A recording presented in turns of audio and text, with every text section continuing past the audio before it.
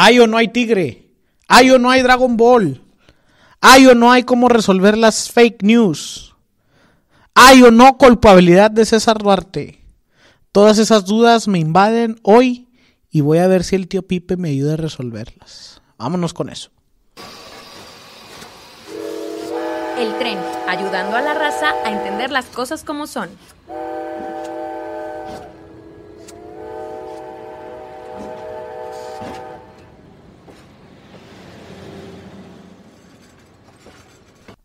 Semana 61 y esta es la ensalada de esta semana en la que seguimos contando con la bonita y agradable, aunque cada vez más cansada y demandada este, o, o, limitada presencia de Felipe que ya me amenazó.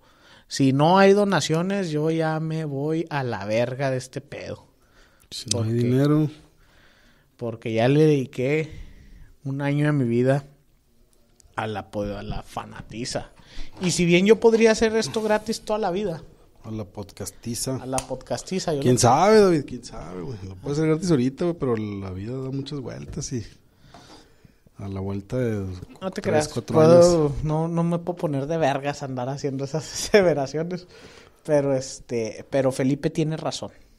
Es la hora de que usted nos devuelva un poco de lo mucho que le hemos dado. Todo nuestro... Nuestros mejores años como Luis Miguel, o no, ¿quién? Es Alejandro Fernández el de esa rola, ¿no? De que te regalé mi mejor edad. ¿No la has escuchado? No, sé qué me estás hablando, pero ah, Déjame la busco a ver si la puedo poner, pero, pero ya lo amenazamos, ya lo amenazamos y es cosa de que se lo cumplamos en muy poquito tiempo. Este, traemos una ensalada ahí más o menos rebuscada.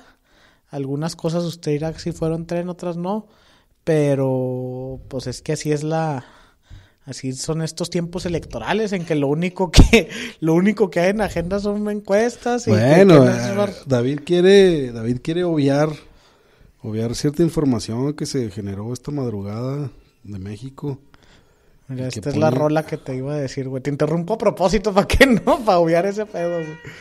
Esta es la canción, déjame le adelanto a ver poquito. la...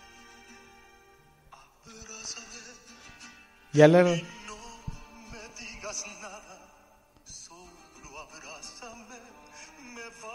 ¿Qué? ¿A poco vamos a estar oyendo toda la rola?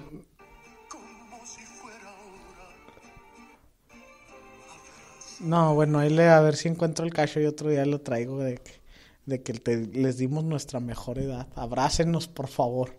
Pero bueno, ahora sí, ¿qué es lo que quería obviar, Felipe? ¿Qué es lo que quiero que no se pues escuche en estos micrófonos? La Unión Europea Fútbol Asociación. Ah. Este, le está, la, la, la, le está no, poniendo. No, tengo orejas de pescado. le está poniendo la alfombra a, al mismo de siempre. Este. Echándole el camino. No, hay equipos que les ha tocado el Wolfsburgo en semifinales.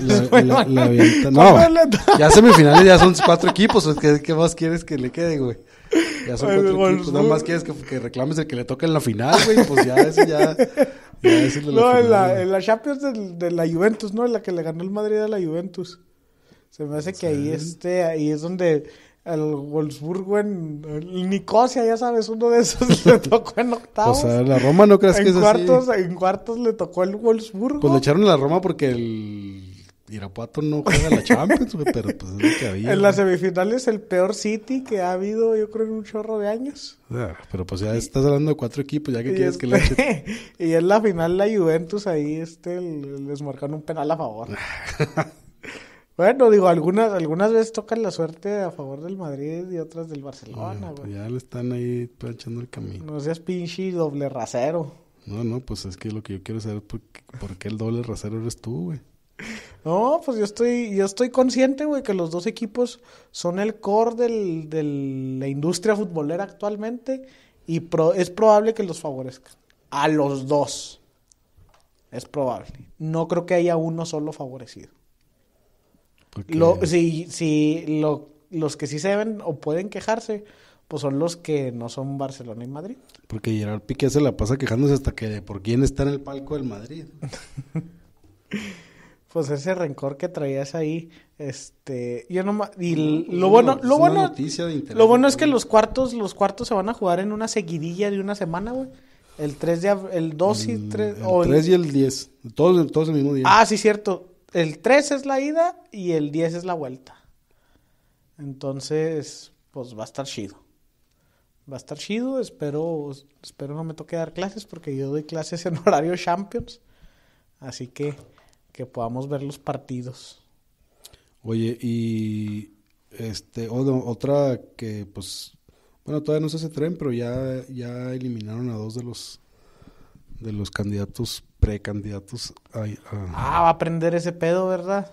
Pues bueno, si quieres lo dejamos para la próxima semana, ya ya va a tener una semana de viejo, pero pero pero ya con más elementos, pues ya con más elementos, que parece ser que nada más Margarita va a la boleta. Que parece que más Margarita va a la boleta, pero que también hay un chingo de firmas que están respaldadas por una fotocopia de una credencial.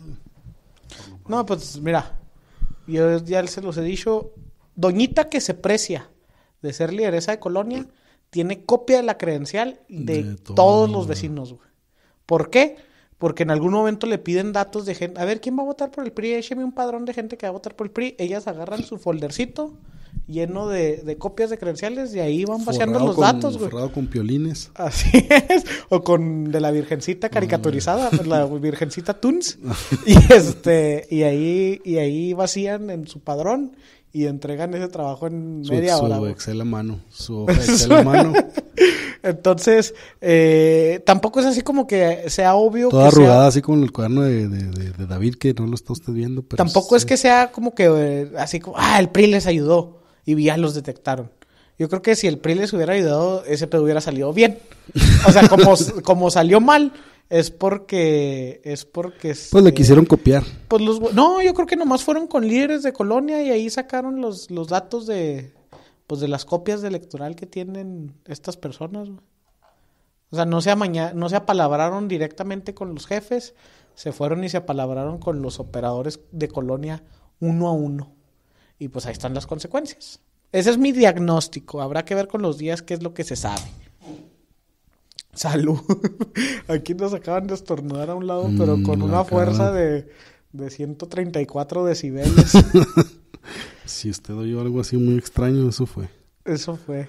Y ahora sí, ¿tienes alguna otra cosa como preámbulo para antes de entrar a nuestra... La, reelección de la dictadora populista Angela Merkel.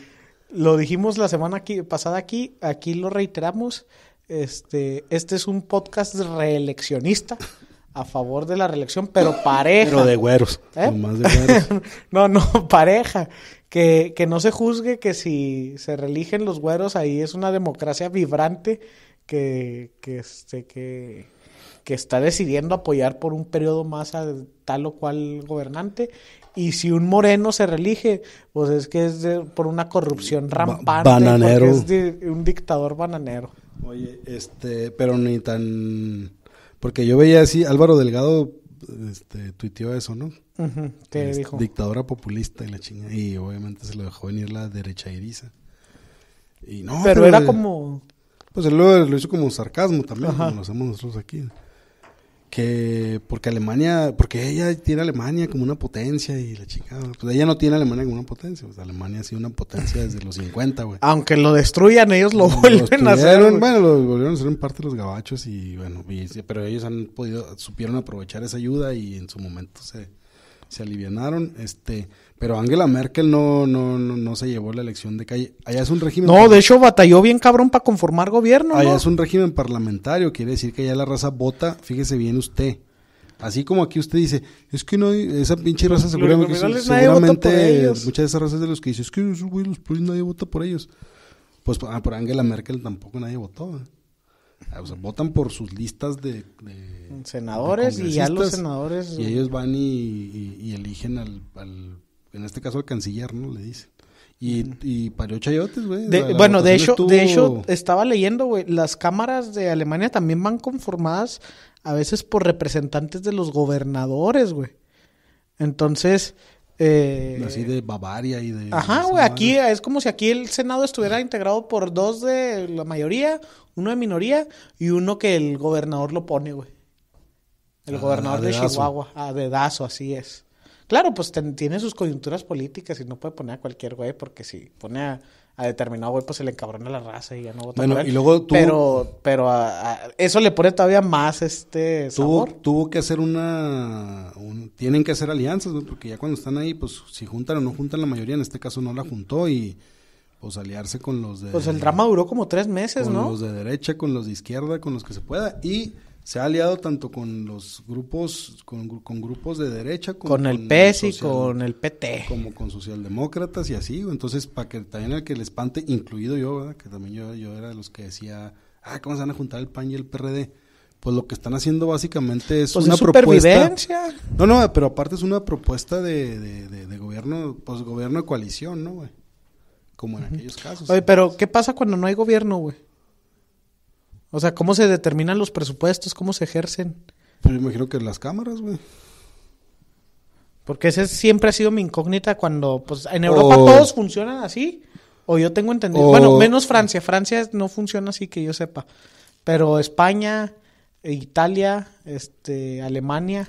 O en automático, güey. O sea, debe de haber, debe de haber un funcionamiento mínimo del gobierno, como, como por ejemplo en Estados Unidos cuando hacen el shutdown Primero pagan lo no esencial y luego después ya, ya si se pone muy cabrón. No, pero no, esas pausas no podrían durar pues, güey, porque pues el, habría chingos de programas acá que apoyo al campo y, convocatorias de emprendedores y, eh, N, N, funcionamientos que, que sí ardería el país si no, si no suceden, ¿no? Pues yo me imagino que... aquí con cualquier presupuesto que no se ejerza ya está viendo, güey. No, no, porque, sí, porque aquí todo es decisión del presidente todo, güey. Aquí ya está ardiendo, güey. Aquí sí, si tiembla y se cae, la, a ver, a ver, pero a ver qué dice el presidente. Y si los vamos a sacar a esa raza de ahí de los escombros, si no, pues sí, sáquelo. No, aquí sí todo depende del presidente, güey.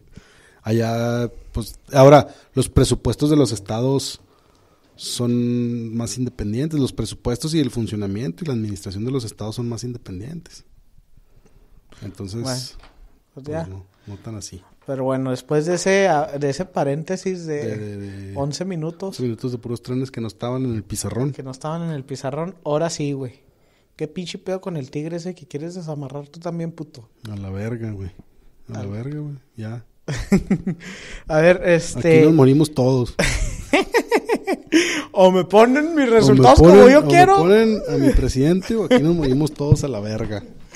Mira, este, esa declaración de López Obrador yo ya la había escuchado dos, tres veces, güey. Pues lo dijiste la vez pasada, pero, yo nunca la, yo te decía que yo nunca la he escuchado así de, una manera tan textual que se Pero en la reunión de los banqueros, este, donde se le asomó el ombligo a López Obrador y que también ese pedo fue tren, pero bueno, pues qué más podemos decir que se le asomó el ombligo. Pues la guayabera estaba muy grande, ¿no? Muy aguada. Pues no sé, no creo, porque si está grande, pues se te, se te desparrama. Y se ve holgada. Ese más bien es pedo de que se la tenía chiquita, güey. No, no, se veía desparramada y, pues demasiado abierta de los botones, sí. Pero no, no por, no por la panza, o sea, sino porque se sentó y quedaba grande. Pues no sé, pues, pues si el vato es de allá, pues debería ser usar una guayabera, ¿no? Debería de él tener las suyas propias. Esa parece así como que, oiga, ni tan de guayabera. Una guayabera del candidato y lo, a ver tú. Alguien lo encueraron ahí, así como, como el, Pablo Escobar, que a un cabrón le quitan su corbata para ponerse la Pablo. Yo, yo creo que el vato ha de haber dicho, pues banqueros, pues yo voy de traje, pues el güey siendo allá le vale verga que, bueno, no de allá, él es de un lugar todavía más caliente que Acapulco, güey. Entonces, en Acapulco sí puedes andar de traje si andas en esos centros de convenciones donde se organizan. Entonces yo creo que él ha de haber llegado de traje, güey. Y pues ah, cabrón. Y vio a Pepe Mid. Siempre vio, a este canalla. Este, todos de Guayavera y También Ríos Peter anduvo en ese evento cuando le andaban dando foro de candidato, güey. Los banqueros de, de, Guayavera dijo, pues, a ver, una Guayavera candidato y la, y encueraron a alguien ahí. pero pues no. Bueno, volviendo al punto central, dijo eso del tigre. Este, mucha gente se lo tomó así como una amenaza. Yo, yo pues siempre entendí esta referencia a Porfirio Díaz de, de cuando estalla la revolución, que Porfirio Díaz este salió corriendo a Francia y dijo, pues ahí amarren al tigre, que soltaron. Por eso, y el tigre pues duró paseándose 11 años, ¿no, güey? Por eso, pero pues entonces es una amenaza, ¿no, güey? este pues es que el, vato va calentando los ánimos. Ya sabes él que Yo ya no sé qué lectura darle a veces a las cosas, pero ya sabemos que él no hay forma de que reconozca una derrota. Nunca lo ha hecho. Desde Tabasco, cuando él quiso ser gobernador y que Roberto Madrazo le ganó